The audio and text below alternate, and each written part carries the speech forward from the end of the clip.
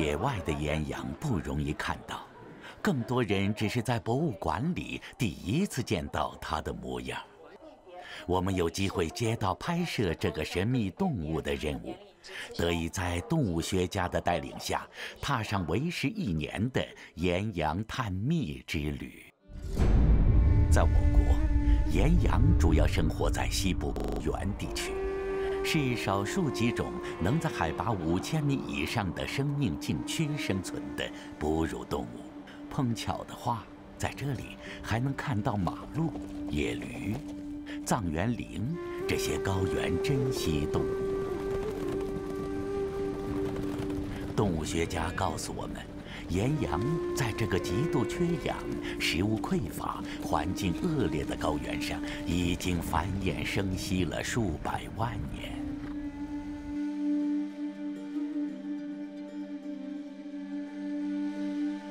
宁夏第一高山贺兰山。是全球岩羊分布密度最高的地方，也是我们这支探秘队伍的大本营。贺兰山平均海拔在两千米以上，怪石嶙峋，崖谷险峻，峰峦重叠，巍峨壮观。古诗赞美它：“贺兰之山五百里，极目长空高插天。”断峰以里烟云阔，古塞微茫紫翠连。岩羊是典型的高山动物，主要栖息在高原地区裸露的岩石和山谷之间的草地上。在动物世界，岩羊堪称飞檐走壁的高手。哪怕是在笔直的绝壁上，岩羊也能疾步如飞，纵身一跳就能达到两三米远。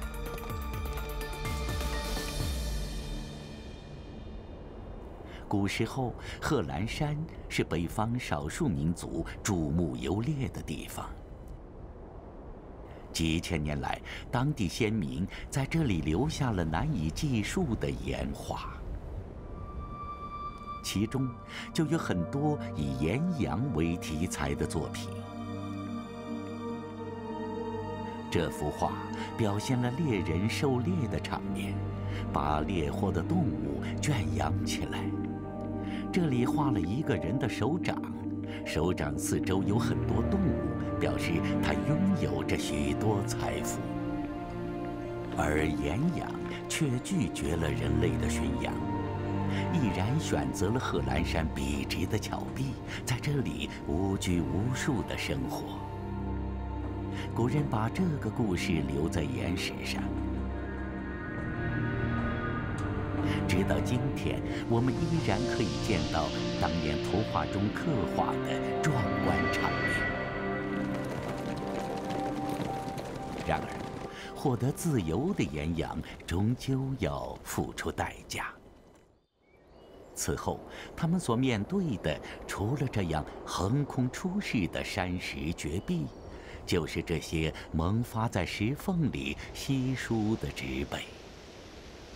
幸运的是，岩羊把生命托付给贺兰山，同样，贺兰山也给岩羊提供了有力的庇护。它们的毛皮与大山的颜色融为一体，起到天然保护色的作用。注意看，是不是很难发现它？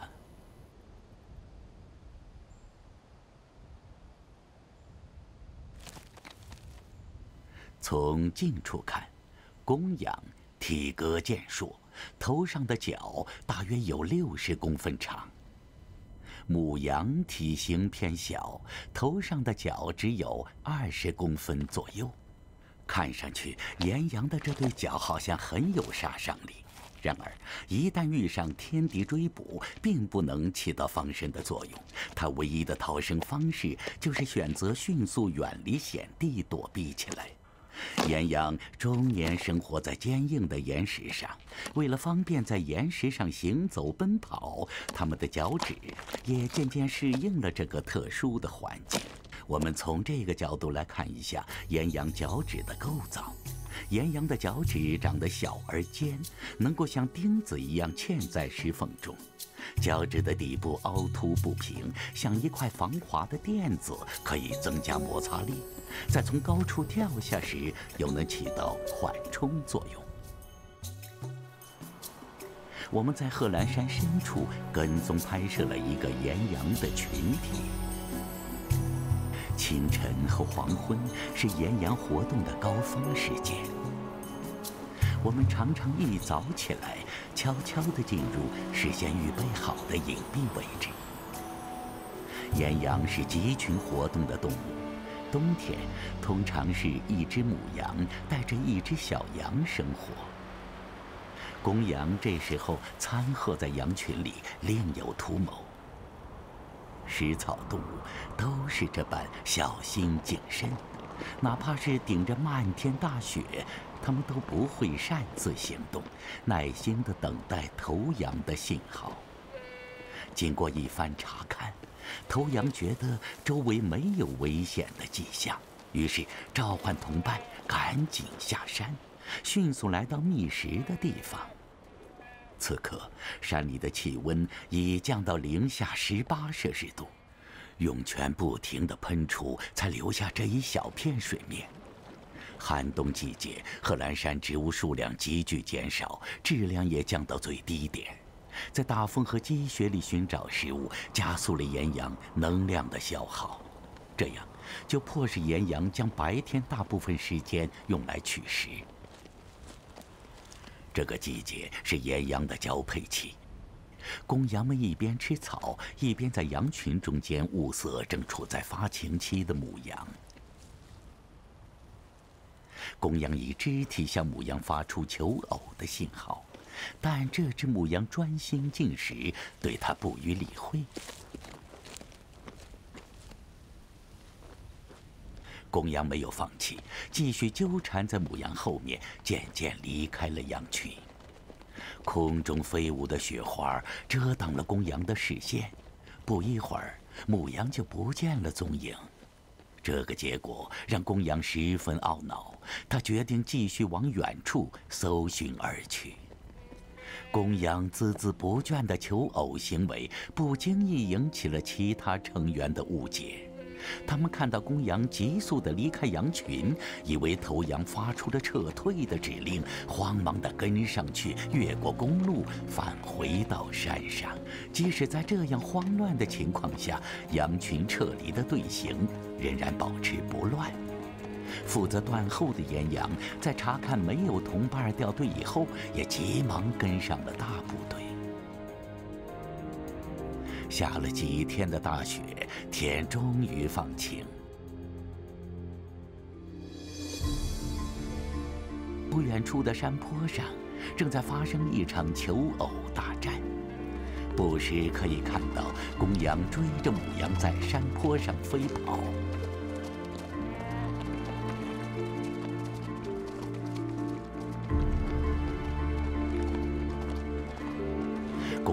追逐了许久，眼看就要得手，突然发现有竞争对手飞奔过来抢亲，于是引起场面一片混乱。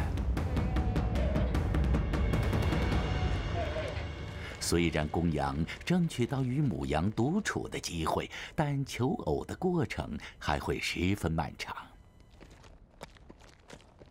公羊跟在后面，一边耐心的等待，一边观察母羊的状态，判断它是不是愿意接纳。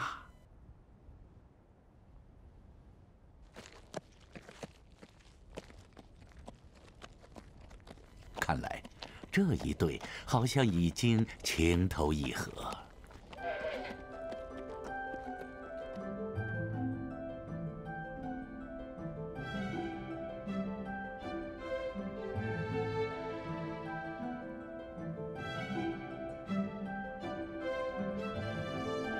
个多小时之后，公羊终于获得成功。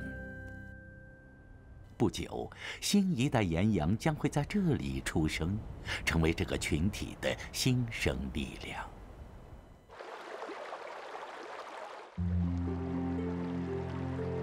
春天。公路边的白杨树绿了。我们再次来到贺兰山。此时，大片的灰榆树上长满了嫩叶，这是岩羊喜爱的美食。山坡上，野枸杞、丁香、小薄荷，花红叶绿，参差不齐。这天傍晚，我们在山顶上发现了一个很大的羊群。判断他们第二天一早可能会下山喝水，我们就在水源附近搭帐篷宿营。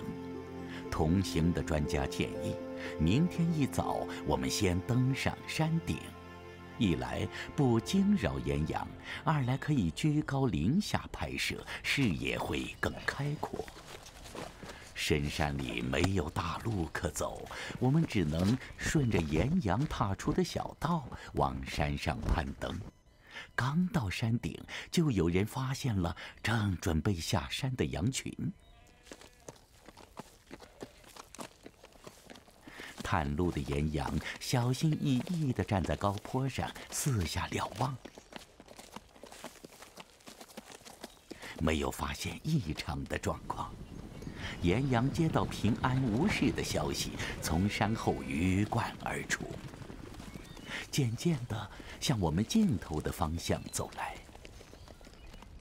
这个季节，贺兰山植被难以保证岩羊对水分的需求，因此岩羊偏爱距离水源更近的地方寻找食物。这个小池塘是方圆好几公里范围唯一的水源。也可能是肉食动物常来饮水的地方，做好警戒工作很有必要。在如此恶劣的自然环境中生存，岩羊之间合作互助就成为了必不可少的生存模式。这也是岩羊之所以要集群活动的重要意义之一。最低限度，几十只岩羊就有几十双眼睛，更容易发现潜在的危险。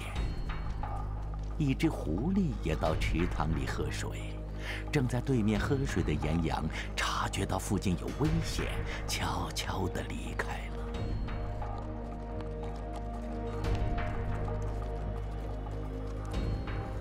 食草动物对周围的动静十分敏感。此时气氛十分紧张，哨兵及时发出了警报。听到报警声，羊群毫不犹豫，第一时间往山上奔跑而去。据动物学家研究，岩羊的指骨相对比较长，肌肉和指骨附着在一起的结构形成了速度杠杆。根据这个原理，它肌肉收缩一厘米可以使身体移动十厘米，甚至更多一些。所以，一旦在岩石上奔跑起来，速度非常快。当它们事先发现有食肉动物要捕食它的时候，便开始奔跑。只要达到它最佳速度，食肉动物就很难追上它。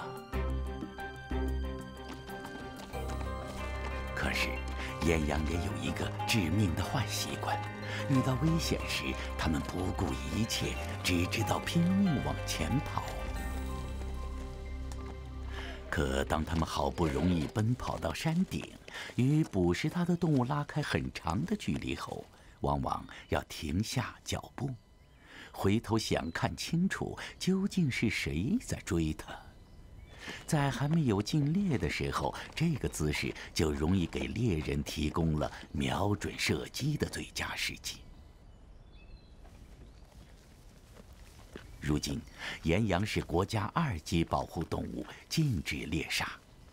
在岩羊的栖息地，天敌的数量也大大的减少，岩羊的安全已经不是头等大事。看来，他们可以尽管去享受大自然提供的食物，也可以像这样吃饱喝足，尽情的玩耍嬉闹。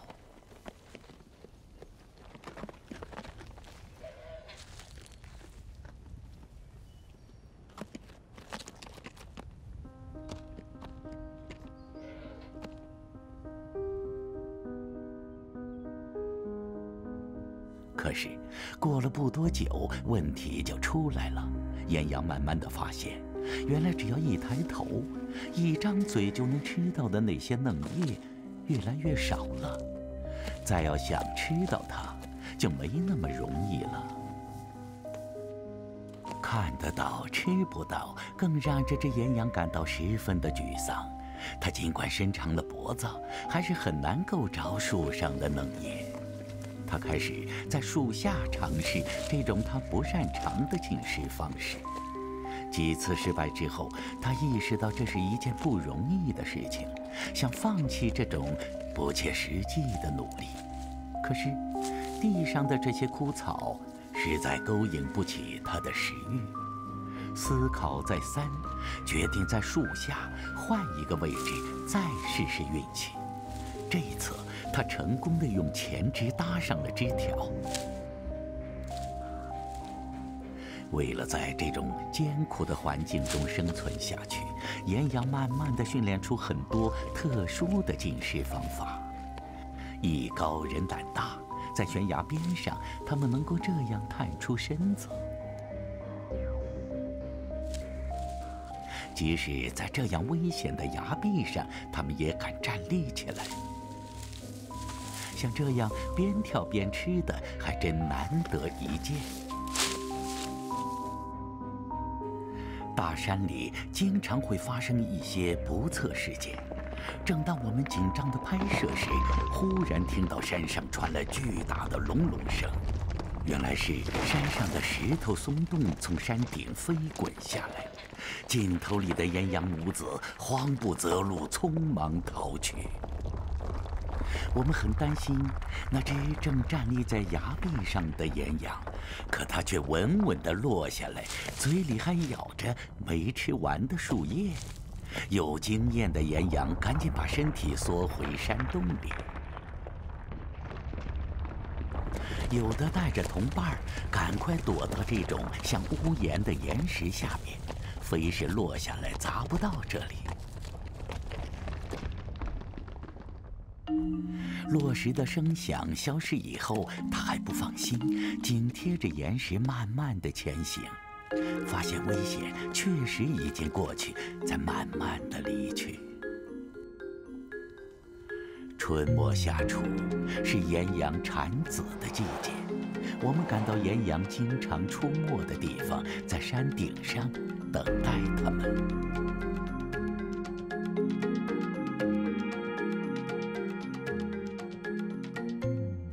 在一处山坳里，我们终于看见一只正在吃奶的小羊。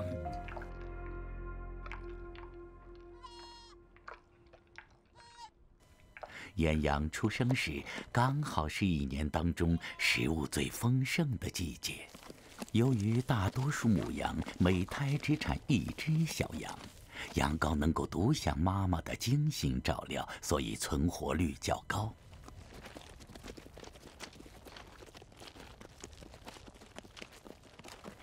羊群里有了调皮的小羊羔，顿时增加了不少生气。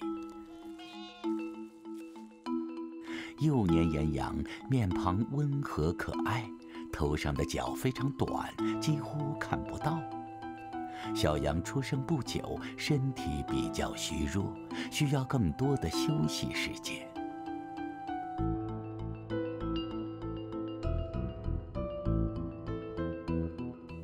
小羊有妈妈的奶水补充营养，花在吃草上的时间不多，闲着无事儿就找同龄的伙伴一起玩耍。要不就缠在妈妈身边。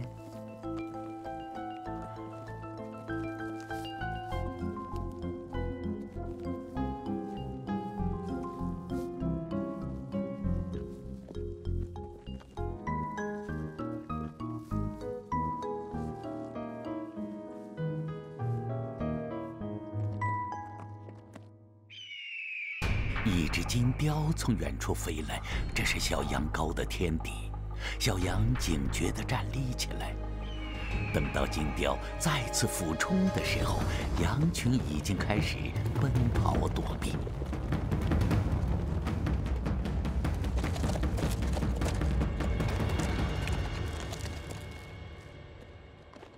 据动物学家观察，小岩羊在出生十五天之后就能够在悬崖上攀登。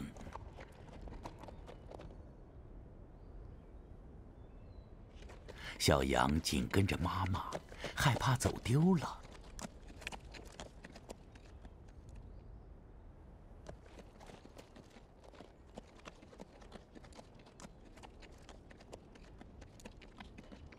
慌乱中，也有母子走散了，这让妈妈十分着急。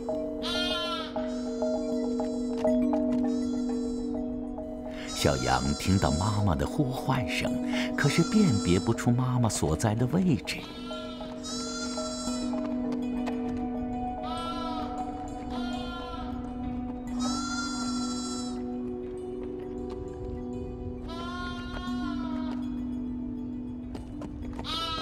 妈妈尽可能的往小羊的方向靠近。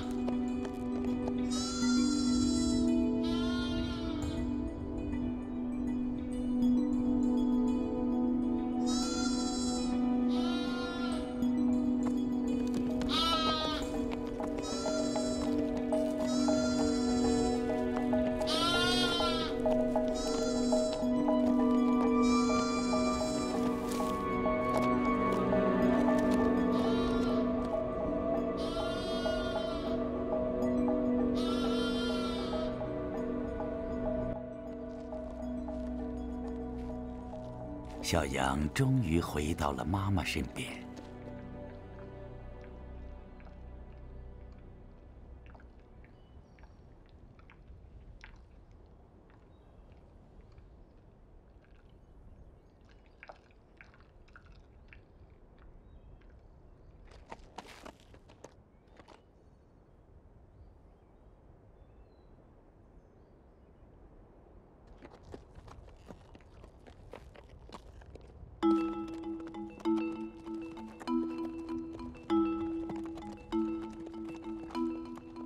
经过这一番惊吓，妈妈再也不敢让小羊离开她的视线了。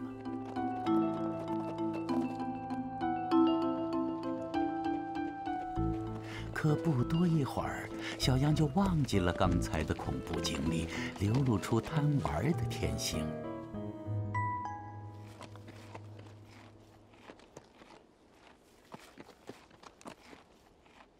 小羊玩累了。靠在妈妈身边，进入了梦乡。妈妈不时的回头，慈爱的看着他。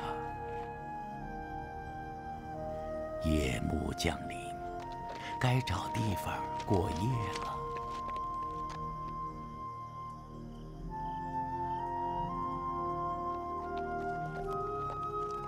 岩羊没有固定的处所。都是就地寻找隐蔽性好的地方休息。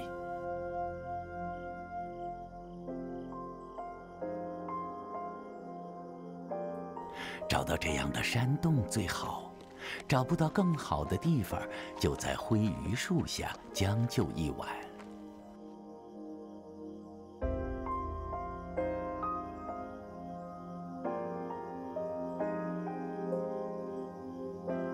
更加安全的地方，当然是这样的悬崖上。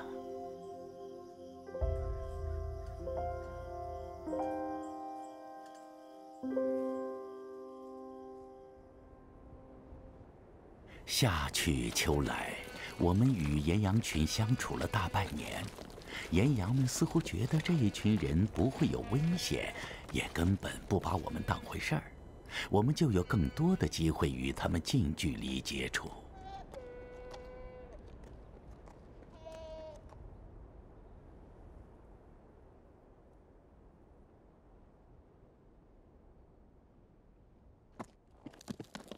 小羊渐渐长大了，在妈妈的言传身教下，开始自觉地练习复杂的跳跃动作。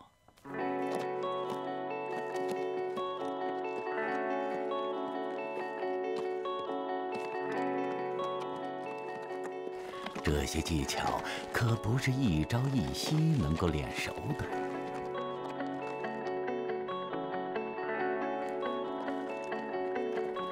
接下来的训练绝不会轻松，先做一下热身运动，舒展一下身体。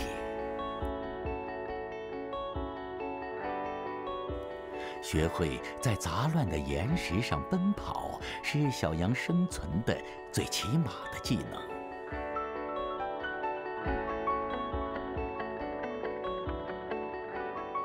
妈妈已经在前面的山上等着。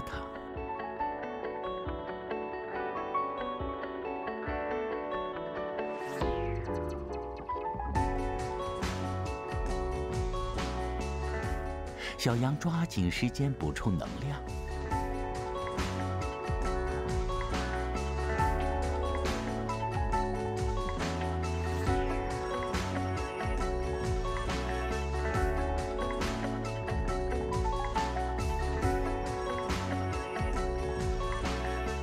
妈妈鼓励他开始第二个训练项目。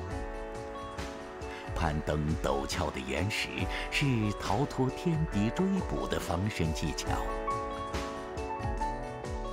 遇到这样的鸿沟，飞跃过去，要稳稳地落在地上。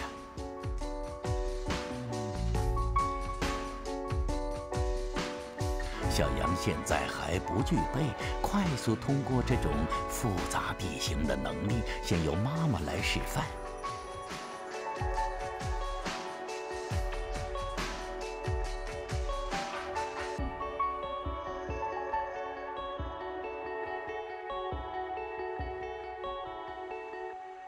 大山里地势复杂，要在这些乱石中间找出一条逃生的路线，需要丰富的经验。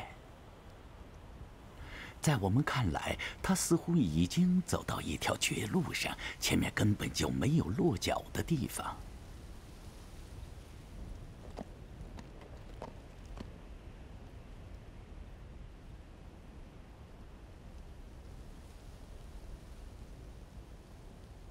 正当我们悄悄猜测的时候，他居然继续往上跳。看接下来会发生什么奇迹？想不到，最后的落脚点竟然是这样几乎垂直的崖面，让人叹为观止。不过，难免也有失足的时候，但他在下坠的过程中能迅速的调整。稳稳地落到地上。又是一个冬天，贺兰山照例成了一个冰雪世界。极度的严寒、食物的匮乏，使得那些老弱病残的个体遭到大自然的淘汰。而新一代岩羊很快取代了它们的位置，保持岩羊种群的稳定。我们欣喜地看到，年轻的岩羊在经过艰苦的训练后，逐渐具备了在这个环境中生存的能力。他们在父辈的带领下，正在挑战出生以来的第一个冬天。为了生存，为了雪山精灵这个荣耀的称号，面对前方层层艰难险阻，他们唯一的选择就是义无反顾地向前跳跃。小羊可以坦然地接受这样的失败，但是他不会退缩，因为他知道，前辈踏出的脚印是他们要到达的目标。在我们与岩羊相处的一年中，最值得我们敬畏的，正是岩羊这种不畏艰险、超越极限的攀登精神。